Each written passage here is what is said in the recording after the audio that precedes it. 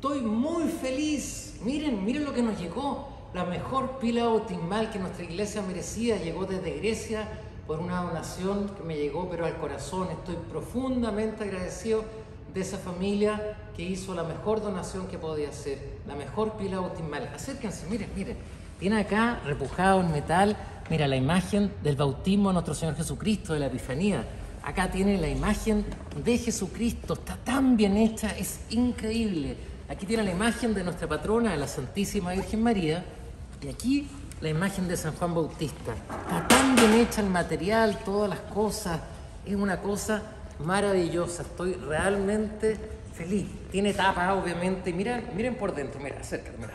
Está todo así, ¿ah? martillada y tiene un estanque abajo, o sea, cuando ya el bebito ha sido bautizado, uno saca esto y el agua bautismal se da un estanque que tiene abajo. Estamos felices, de verdad que es cierto de poder tener la mejor pila bautismal. Hacemos tantos bautizos en esta iglesia, ustedes han visto todas las fotos de todas las semanas, uno o dos bautizos.